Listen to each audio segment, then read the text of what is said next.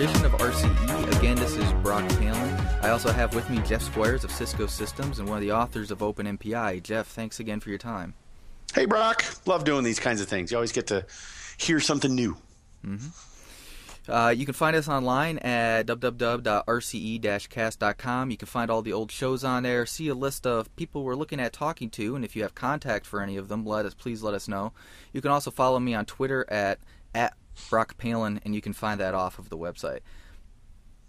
Me too. I think I'm uh, at Jay Squyres. And um, a little note to anybody who's listening out there: if there are things about MPI that you would love to see explained, let me know, and I'll I'll do a little bit about it on my blog. Because just off the cuff, I did something about eager limits a week or two ago, and uh, Brock sent me back afterwards. He's like, "Hey, that was really useful. I could show that to all my users." And so, you know, if uh, you, uh, gentle reader out there, have anything you want to hear about on the MPI sphere, uh, just uh, let me know. I'd be happy to talk about it. Yes, that that was very useful. Also, uh, I'm going to be at the TeraGrid conference, which is in Salt Lake City this year. That is coming up in July. It is July 16th through 21st. Uh, if any of you guys are going to be there, be sure to track me down. I'll be walking around as a campus champion there, representing the University of Michigan. Uh, so I'll be there if anyone else is going to be there. All right, so let's get on to our uh, topic today. I think you have a, uh, a special affiliation with our guest, so why don't you give the the introduction honors here? Yeah, yeah. So uh, our guest today is uh, Rodney Mach of HiperLogic. He's actually going to be speaking to us uh, about a lot of the questions we have about Windows HPC Server. I've personally never ran an HPC Server setup. Uh, Rod's unique in that he actually got me into this business. Rod hired me back in 2004 2004, 2004, 2005 as a student employee at U of M, uh, running a bunch of Mac and Linux clusters there. So this is how I got started in this business. So I owe Rod a lot for getting me on track in a great industry. Yeah, thanks, uh, thanks, Brock. I said uh, I knew you would be an excellent uh, employee, and I'm glad to see that uh, you're now uh, running the podcast with a small, uh, small world. And I also worked with Jeff in the past on LAM and then Open MPI. So it's got great yeah. to see you guys. Yeah, we go way back, and, and was, before we were recording, I was saying people need to stop using LAM. please, yeah. please, please upgrade to OpenMPI and stop asking us questions about LAM yeah, you can do like the uh, Microsoft IE6 web page, you know, stop using IE6. You just uh, make a stop right. using LAM, and you're like, you can pinpoint where in the world people are still using LAM. So. Well, by the by the kind of a segue here, um, we're talking to Rodney here because he his company does a lot of consulting around Windows HPC, and Windows HPC is not something that a lot of us know about. So it'd be interesting to hear about it because. Uh, at least my particular bias is mostly focused on Linux and other POSIX kinds of OSs um, and the HPC in those arenas. Now, Windows HPC is getting more popular, so we figured uh, let's hear something about it. So, Rodney, I wonder if you could give us a little of the background here about why you can uh, talk to us about this stuff. Sure. Yeah, we have a consulting company, HiperLogic. So we do a lot of Linux consulting. Uh, we also do Microsoft HPC consulting, mostly for manufacturing, uh, automotive, because uh, we're out of Michigan. So we do a lot of CA, CFD, a lot of commercial off the shelf shelf apps. Uh, we're an HP HPC Elite partner, so we put together clusters, support them, manage them. Uh, and for Microsoft, uh, I, you know, definitely, like you said, Linux has been, uh, you know, kind of the de facto standard for a long time. And but as Microsoft uh, came out with their stack, they're now on the third version. It's gotten to the point where it's actually uh, very interesting, and we've seen a lot of customers in the uh, manufacturing space adopting it for different types of uh, point solutions, and uh, even in uh, larger companies in tier one automotive, we're starting to see a Microsoft HPC server. So we've been doing, we have tools and solutions in that space. We do development and consulting. So thought we could come today, you know, having a kind of a mixed background. We see both sides of the fence of done operations development, we could maybe hopefully you know uh, talk about talk to the H- Microsoft HPC space for your listeners that might be interested in kind of what's different or what what is what is Microsoft doing in in this arena.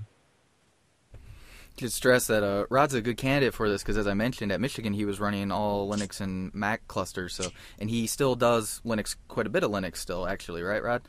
Yeah, yep, yep. We still do a lot of Linux. Uh, so you know, it. Uh, uh, we can talk about like what you know. What is a decision point uh, when you go to uh, when you're trying to decide Linux or Windows? You know, often um, you know there, there's a there's some criteria that may make one more preferable over the other depending on your situation. Well, yeah, actually, let's dive into that. I mean, what, what, why would a customer choose Microsoft HPC? And I, I, don't mean that nearly as confrontational as that sounds, but you know, a, a big chunk of the HPC industry is Linux. So, what would lead somebody to the to the Windows solution instead? Well, often what happens when we go to a customer site, the engineers, maybe they're using a Linux cluster, they don't have necessarily Linux expertise, or they face problems like they'll have they'll create an input file on Windows and they have to deal with like Unix to Windows line conversion, all those like little things, ha- having to FTP files back and forth.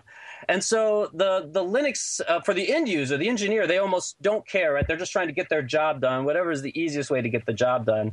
So often that barrier is uh, uh, that Windows reduces that barrier a little bit if the engineers are Windows focused. Now other shops, the engineers all want to use Linux, so it just depends on the environment. The same thing goes on the flip side. The, for the IT administrator, uh, often they if they don't have linux skills and linux comes in we often bring linux into a windows only shop in the past.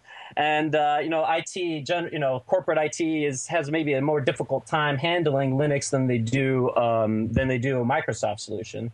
Now i should say that just because you have a microsoft solution in place doesn't mean that having windows skills makes you an hpc person. You definitely need to learn you know the all of the part of HPC, but that does lower the barrier of entry for folks who if they if they aren't, aren't familiar with HPC and they aren't familiar with Linux, it's at least one of those two you knock out you knock out if you uh, want to consider HPC. And kind of the third realm uh, that's new is that if you want to like utilize a lot of companies now are going to Windows 7.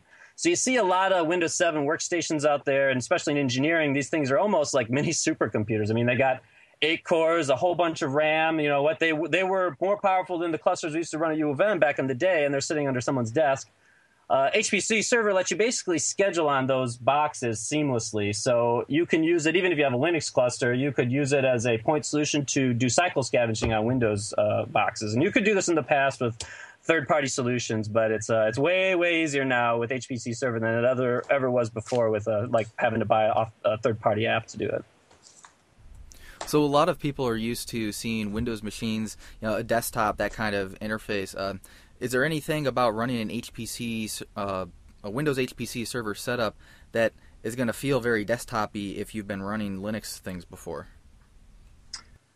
Well, kind of the dream of HPC server is that the, the, the you'll actually submit from your native application, and you should never really even realize that you're submitting to a cluster necessarily. So applications like Ansys. There's some uh, good apps out there that do have that, you know, dream realized. They're using Microsoft APIs. They submit to the cluster. It's it's basically transparent. If you want to go back to uh, where your application doesn't have that level of integration, then it's not that different than using uh, a Linux. There's a command line API. You can do like job submit. Um, you know, the, the big difference between how you submit maybe to an HPC cluster versus a Linux cluster is what are you using? Instead of writing bash, maybe you're using batch files or PowerShell. Um, so, so it's definitely a little bit different skill set, but it's not vastly different. There's a command line. You can you don't have to use the GUI to use the GUI tools, though they have all GUI interfaces, web portals, uh, standalone thick client, you know, command line. So whatever you prefer, they don't. You can choose choose any of the above. Okay, so that sounds like they've actually reproduced a lot of stuff that we figured out um, in other batch environments for a long time. What about actually moving code over that was originally developed in a Unix Linux environment? Do they have POSIX compatibility? How hard is it? Well, they do have a. Uh, there's this thing called SUA, which is basically a full POSIX compliant um, uh, implementation on top of the uh, Microsoft kernel. So you can install that it has like awk sed grep. You can basically compile any application with very little change, but that's not really the way. If you're going to do that, you're almost. I think you might as well stick with a uh, stick with Linux. Um, but if uh, there's a lot of toolkits like PGI makes some nice tools that uh, allow you to easily, you know, take a pure uh, uh, Linux Unix heritage code and make it work on Windows. Um, you know, a lot of the changes are just like uh, on Windows, you have .obj instead of .o. You have to change your make files slightly for that. Uh, PGI actually has a pretty good tutorial on on uh, migrating uh, over some classical HPC codes over to Microsoft, just to kind of show you what the steps were that you had to uh, do. You know, what did they have to you know change. Uh, so it, it's a it's but you know it's it can be non-trivial or it can be uh, you know it could be a, an effort just depending on how many assumptions your code makes about the fact that it's running on Linux. Like how do you do your directories? Do you assume slash temp is there? You know, are you using fork? You know, stuff like that. All right, so along that line, you know, my particular bias is MPI, you know, and hypothetically, the MPI API is exactly the same uh, between Linux and and uh, Windows, and a lot of people have experience porting between different versions of MPI simply because you know there are fundamental differences. For example, between OpenMPI and MPICH, the two big popular open source ones. So I would imagine um, that the MPI portability is not so much the issue; it's really all the other little things. Is that kind of an accurate statement? Yes, that's correct. The MPICH layer is uh, not, the portability issue is not there. The, the, the Microsoft MPI is based on MPICH too, so if it, it's compatible. All right, and what version is uh, the HPC server based on? Are there are there different versions? Uh, you know, what what do people use out there?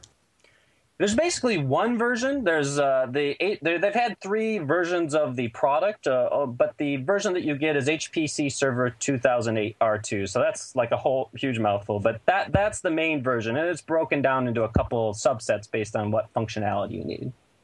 Okay, so what things are included in there? I mean, uh, you know, typically, and again, I can only speak from my experience on the on the Linuxy side. You know, there's a scheduler and a resource manager and a, a queuing system and things like that. You know, are these kinds of things involved on the Windows HPC stack as well?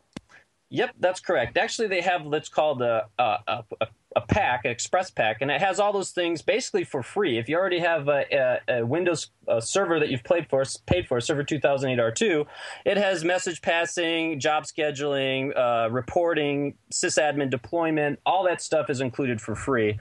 Now they also have like an enterprise pack that gives you some additional functionality, like being able to run on Windows 7 workstations or using Excel on a cluster and some other uh, functionality like that. So I've I've heard some stories and was speaking with Microsoft reps when they come by about uh, infrastructure needs, and so that's been some confusion for people. Like I need an Active Directory setup, or I need a quite a large Windows infrastructure to even support this. Is is that true? And what is really needed?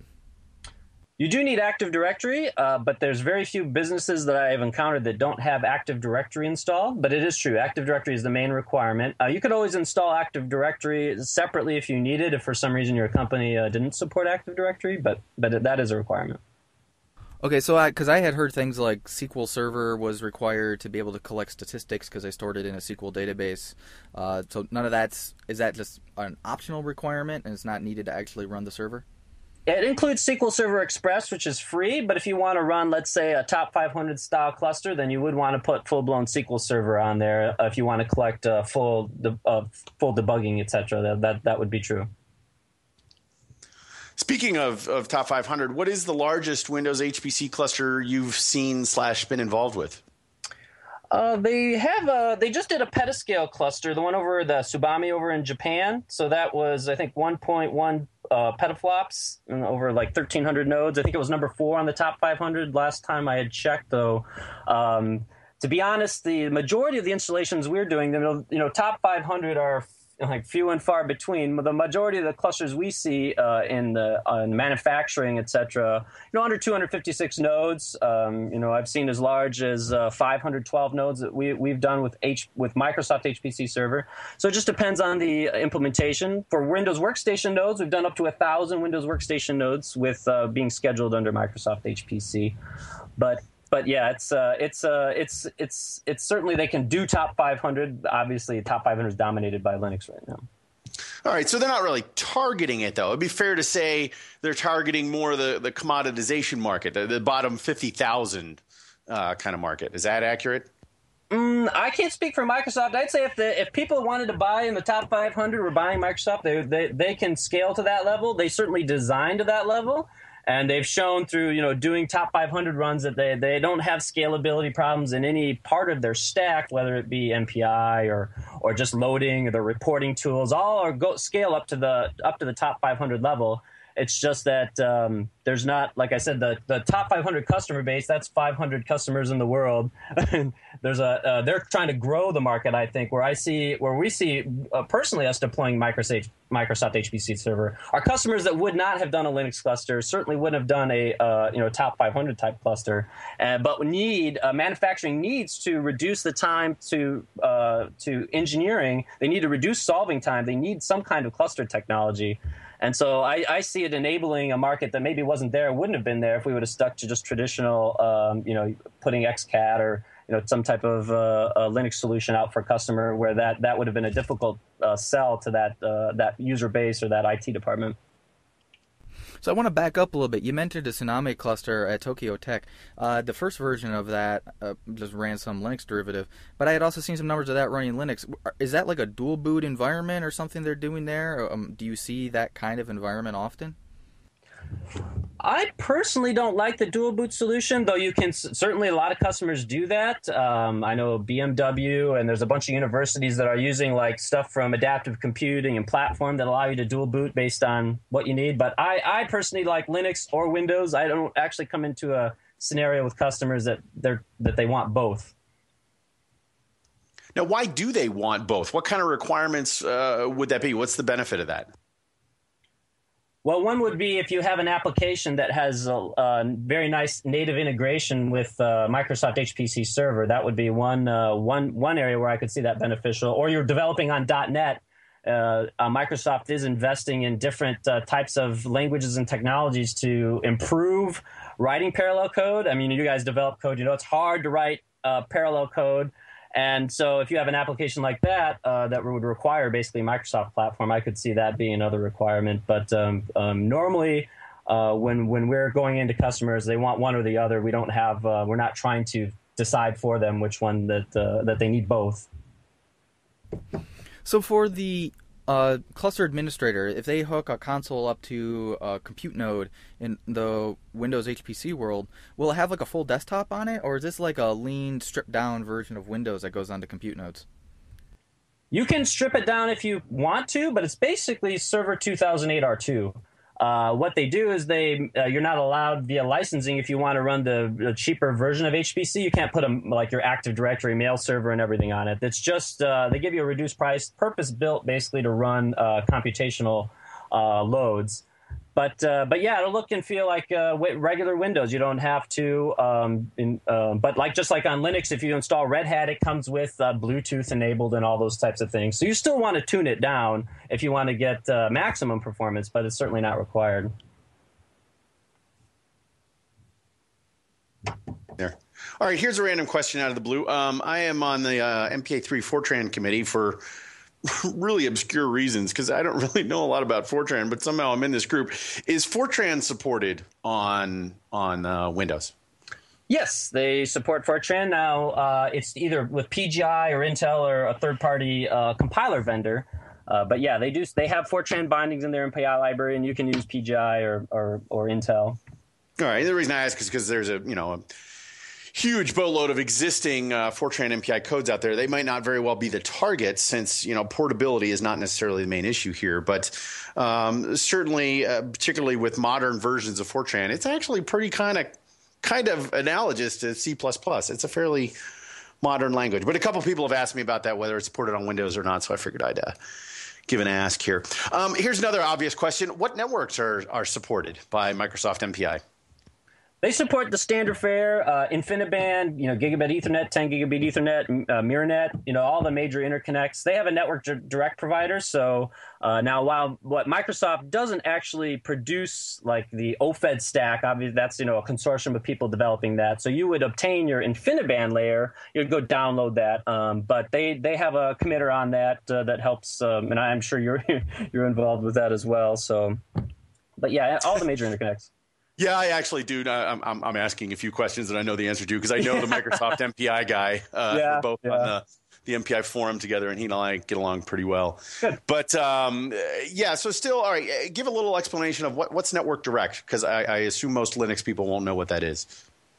Yeah, when they when it's basically a direct to hardware. When they first came out with the very first version of uh, this product, uh, they actually had a like abstraction layer between that and the hardware, and it made it so that their performance numbers weren't good. So when you saw benchmarks, you, you know, it reinforced people's uh, preconception that Windows must be slower.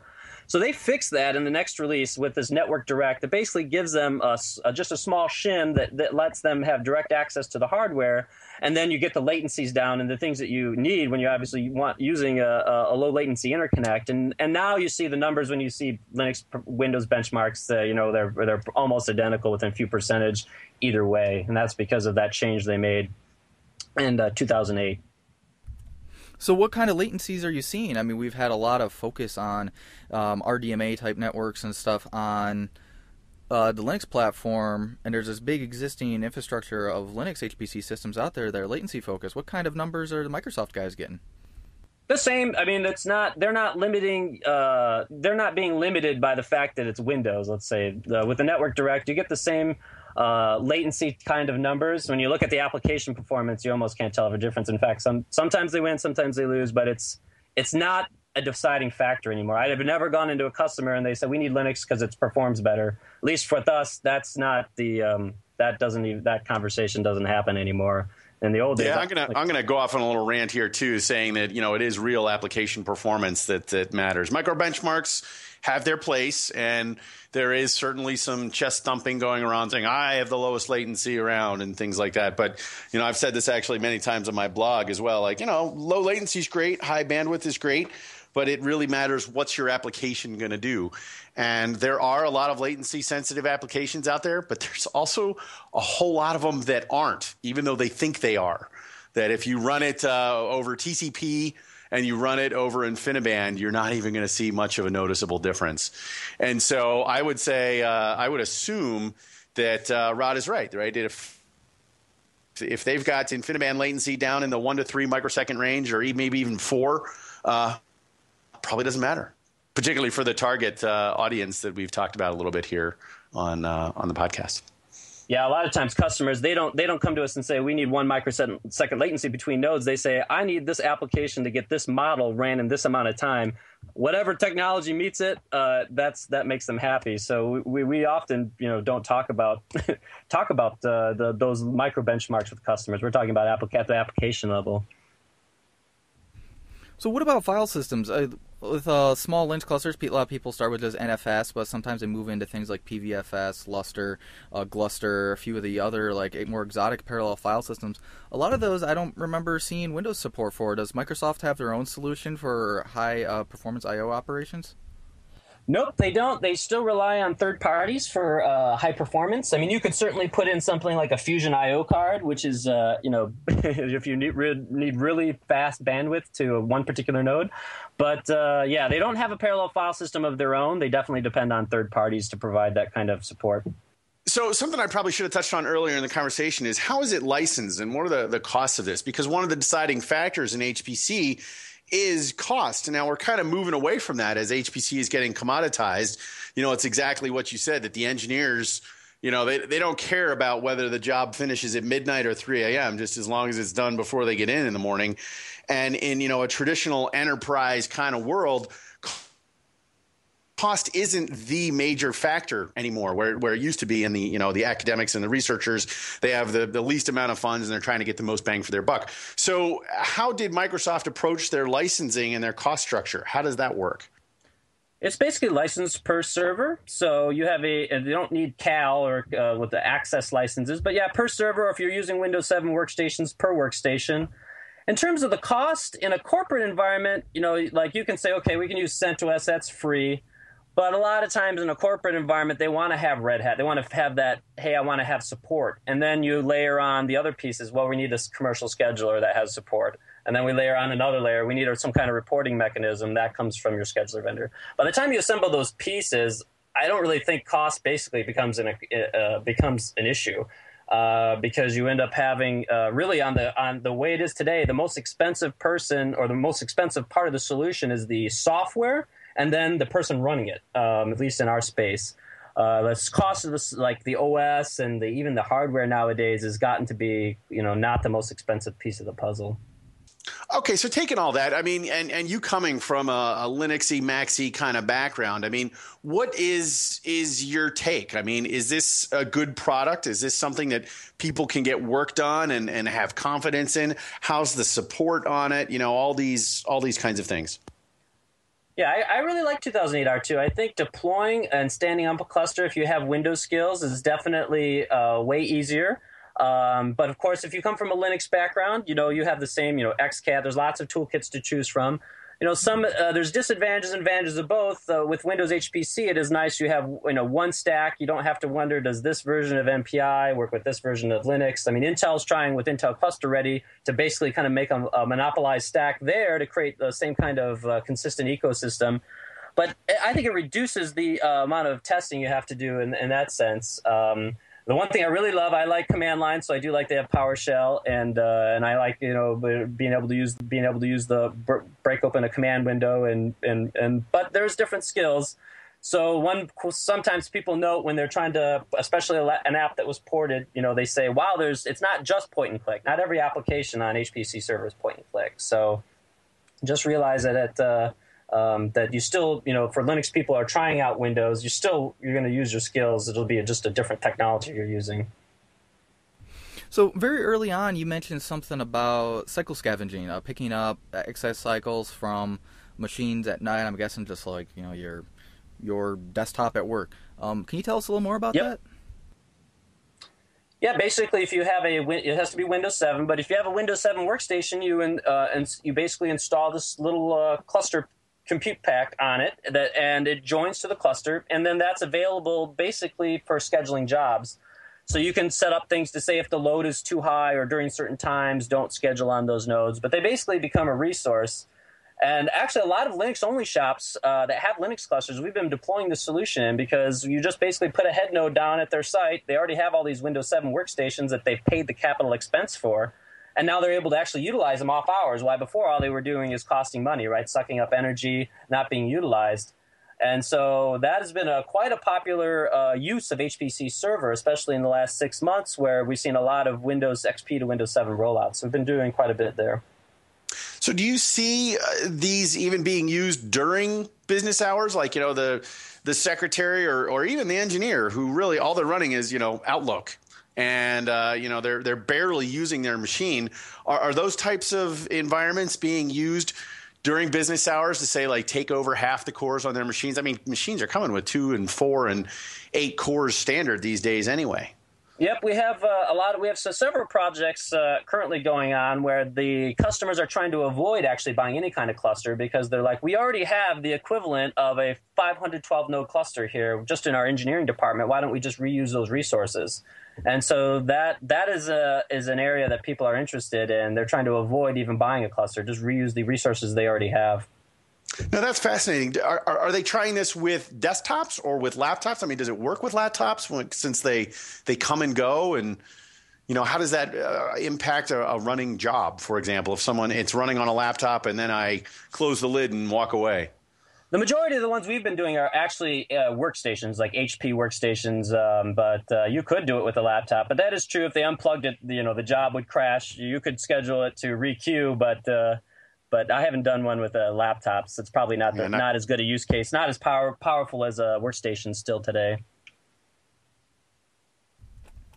So when people are running this uh, cycle scavenging version, are they generally running serial codes or single node parallel jobs, or you know what's what's kind of the more common way of using this?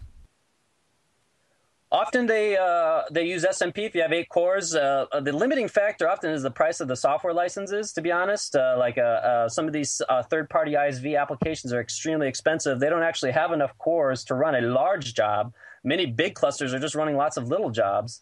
And so for them, yeah, if they can run an eight CPU job on, on one box, great. They don't need to run across. I do have some folks that are running across a gigabit Ethernet though, and doing a distributed parallel to get the memory down. So farming out all these jobs isn't, you know, in the input data, in the output data, and everything else uh, isn't starting to put extra stress on the corporate network. Often in places we go, the because uh, I'm in manufacturing, I should uh, uh, say that in manufacturing, the engineers often have their own dedicated network usually gigabit because they are large, transferring large files around to each other. So no, it's not. It's not like it's going out on the corporate backbone and back. You know, it's on. A, it's still on a dedicated network. So, are people running mostly ISV codes, or is there any homegrown stuff, or is it mostly focused on you know your Abaquses and Fluents and things like that? Well, from uh, you know, and, and uh, this is this is where from from our perspective, we live in manufacturing and also in oil and gas. So between those two, uh, a lot of that is um, um, is is ISV applications. Some of those have like Fortran, where because they're Fortran based codes that where you are putting in like user defined libraries. But certainly, some customers are running their own uh, codes. Um, it's just our customer base is mostly ISV. Uh, ISV apps. Financial services, though, they're all basically uh, custom, and HPC servers is uh, be- becoming pretty popular in uh, in that space because they also support SOA and some other types of models that are popular in financials. Now, I know that Microsoft is investing heavily in trying to, and you mentioned this even earlier in the call in the call here that you know they're trying to make it easier to write parallel code. Do you have any of your customers doing that, or is that something that you can talk about at all? Give some examples because we all know that it's it's difficult to write parallel code. I mean, I, I guess I'd be interested in hearing how are they trying to make it easier. Yeah, in a previous life, you know, I worked at a compiler company where we were developing tools to help people write parallel code. That isn't the market I haven't been in anymore. So to be honest, none of my customers are trying to write parallel code. Uh, though I, I, do follow the space because I'm still interested in in, in developer uh, in the developer community. We definitely develop a lot of our own code, but it's not um, you know HPC. Um, so yeah, I couldn't speak to that. I think it's very interesting what they're doing in the space, but uh, I still think the majority of applications are MPI based today. OpenMP. So I'm going to go off into the weeds into a really weird spot here. This is a relatively small market. Really, really large SMP machines. We saw um, SGI take the Altix from the Itanium platform, which Windows did support back to you know your regular Nehalem chip that we get on a you know two socket server from Dell. Uh, are, do you see anybody using Windows HPC on a 128 core SMP machine or anything like that? You certainly could. There's no reason that you couldn't. Um, though, yeah, like I said, majority of our customers aren't trying to buy a big scale up SMP solution, uh, mostly because it's still cheaper to buy a bunch of smaller, cheaper boxes than to buy one big expensive box. And especially in manufacturing, if that one big expensive box goes down, you're out of business. and you have a bunch of little boxes. If a couple go down, you're not out anything. So um, I, I, don't see big SMP boxes too often in our space. So, uh, Rodney, I know you're not Microsoft yourself, but do you know anything about the uh, you know upcoming releases? What are some new, cool, neat features that are coming, and when are they coming, and things like that? Sure. Yep. They're having another release called SP2, which is going to be out maybe by the time this podcast is available. You can download the beta currently and try it out. Um, some of the new features that they're going to have, one of the big ones is they're going to have uh, support for Azure. So you're going to be able to actually just put a head node, you know, at your site and run your MPI jobs basically on Azure, which is like a, uh, a cloud slash hosted uh, solution. Um, so that that's kind of the big uh, functionality. They're going to uh, support VM roles, and you'll be able to actually see your uh, on-site file shares remotely on Azure and be able to access those. That sounds cool with all the standard uh, cloud HPC ish questions. How do I get my data there? How do I keep it secure? And there's uh, all kinds of things like that that we talked about when we had Nicole Hemsoth on here with HPC in the cloud Yes, so, on a while ago, but yeah, yeah, those solutions don't. You know, the cloud. The you know, there's that whole cloud talk. Though I can't say in terms of cloud security, uh, you'd be surprised. I, I, you know, how insecure a lot of customer sites are. The cloud may not be any less secure than their site already is, or you know, but uh, but I oh, could say uh, that but I could say it's a it's a nice solution for people that maybe only once in a blue moon need to run uh, a larger job. You can spin up, and like you had mentioned earlier, they just care about getting the job done. Does it run slower? Yep, sure does. But they get the answer uh, by the time they need it, which is the important part. I, I, can't say I've heard that argument about cloud security before, but it's it's uh, probably um, I, I wouldn't doubt you.